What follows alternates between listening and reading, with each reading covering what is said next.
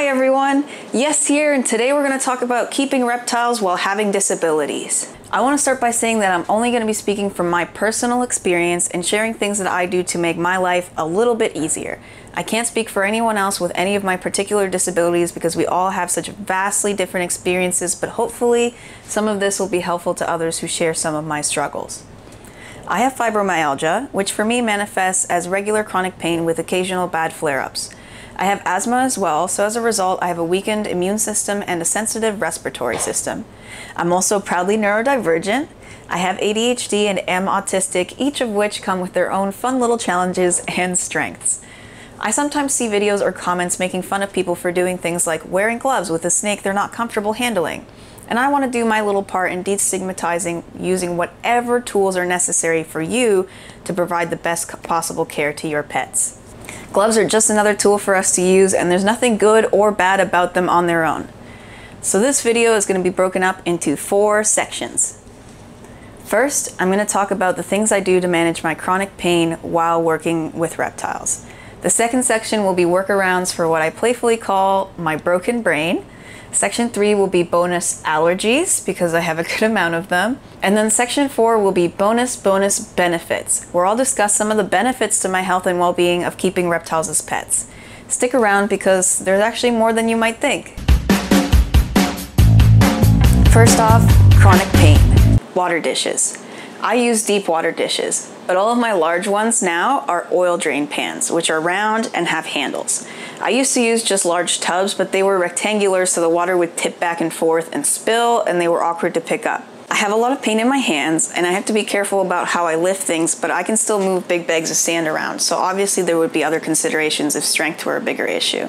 I do want to have larger water features, at least for Margot the boa imperator and Chapo the savannah monitor, and I'll definitely be getting it wet vac when I do that because I'm currently at my limit for most water I can carry.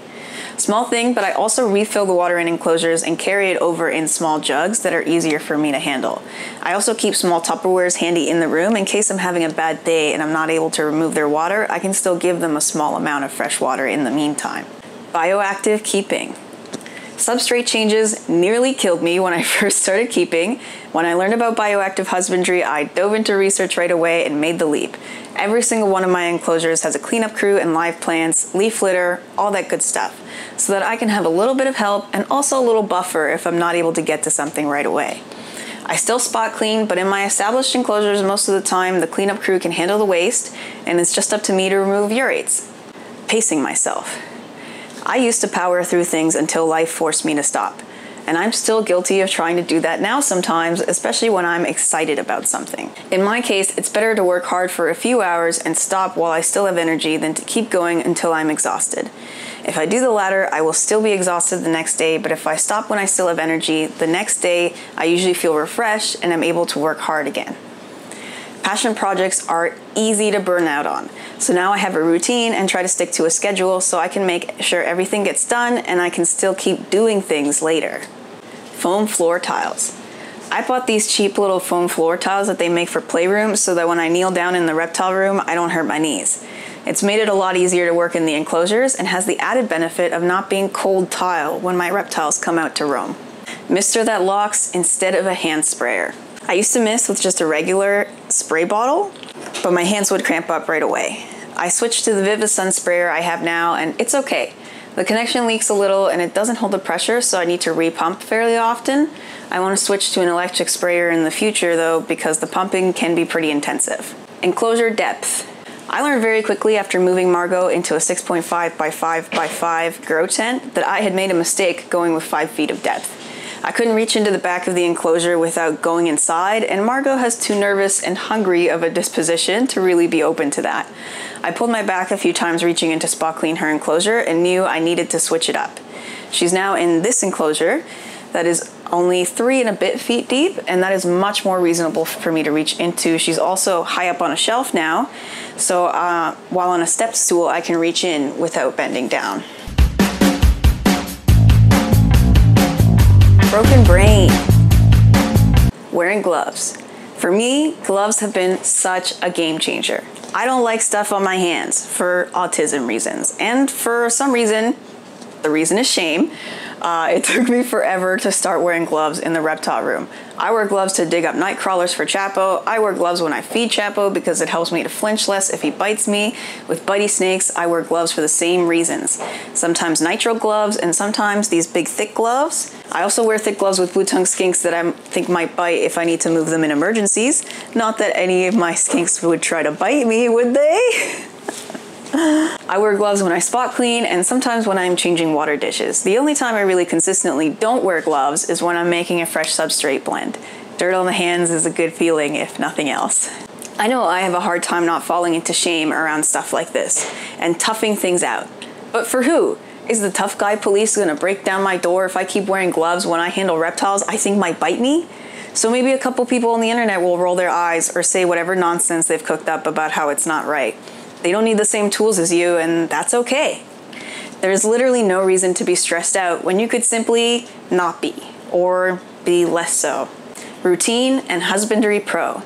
I use Husbandry Pro to remind me when to feed everyone and to make notes of anything that I feel might be important with my reptiles. My memory is not great, so this has been super helpful for me in establishing baselines and having something to look back at to see how things have been going lately.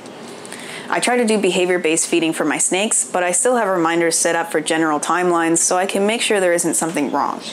I adjust the reminder timings based on how frequently they've been showing hunting behaviors. Routine has also been important to making sure that everyone gets their needs met because I can otherwise be very forgetful. I change waters in the mornings before I feed my dogs to make sure everyone gets fresh water daily. Lumping tasks together keeps me from constantly being in and out of the room as I remember new things that I haven't done yet. I still forget stuff all the time, but part of that is just because I'm constantly integrating new things around here. Desensitization to bugs. So this one is not exclusive to neurodivergence, but I feel like I had some extra challenges around my fear of bugs because of my sensory issues. When I first got Flauta the leopard gecko, I would keep the bugs in the furthest room of the house and dread going in there. Trying to see them in an endearing light and learning more about them has been a big part of my getting used to them that and exposure. Over time, I've gotten used to the bugs, and occasionally I will see a morio beetle doing things that I would describe as cute. So I guess they've grown on me. I still haven't gotten there yet with the roaches, but my exposure to them has been pretty limited because they just live in their little tub. I know bugs can be a big deterrent for people when it comes to reptile keeping, and I just wanted to share that at least for me, a fear of bugs can be improved by having bugs in the house in a controlled environment. Bonus allergies, mealworms, and masking. I didn't think this really fit into the other two sections, but I wanted to mention it anyways.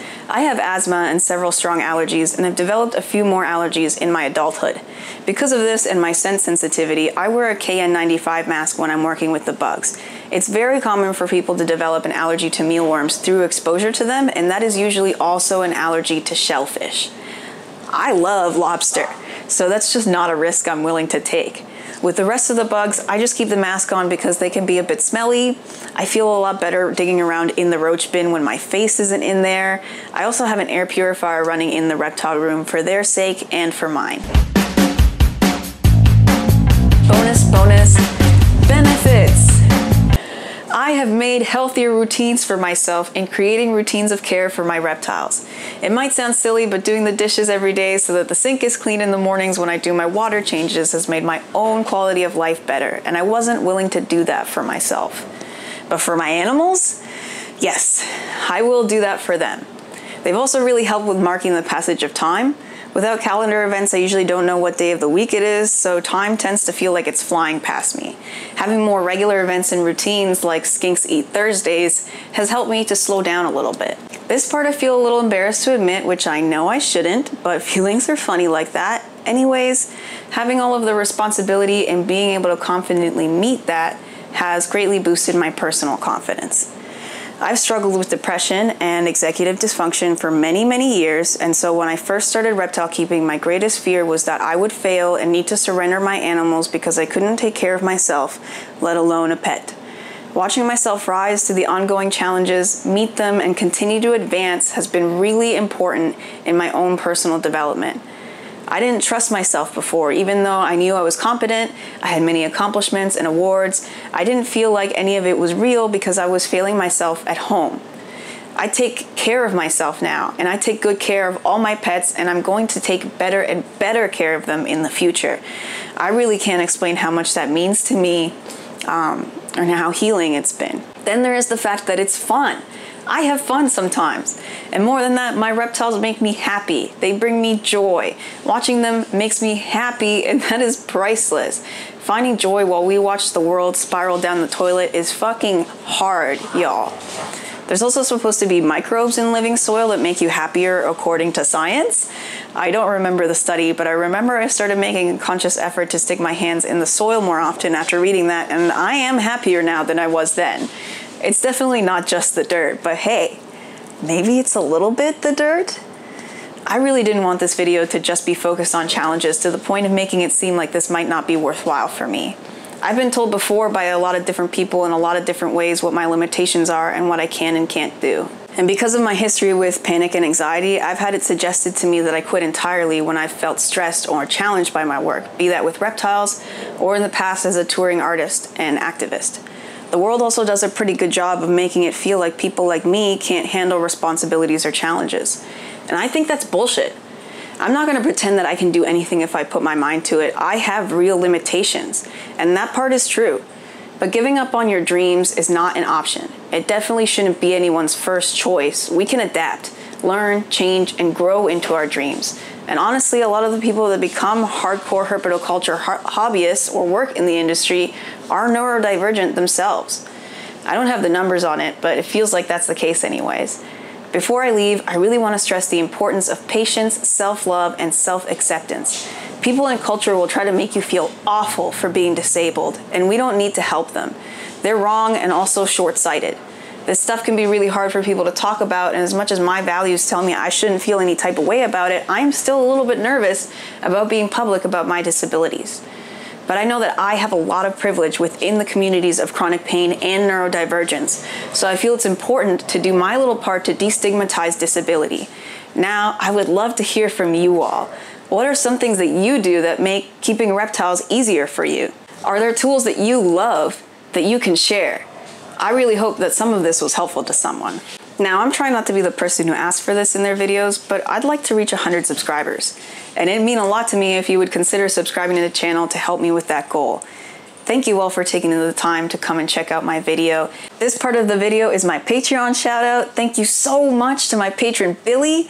My Patreon money all goes towards fostering or rescuing reptiles. If you want to check it out, the link is down below. Take care, everybody, and don't forget to make room for reptiles.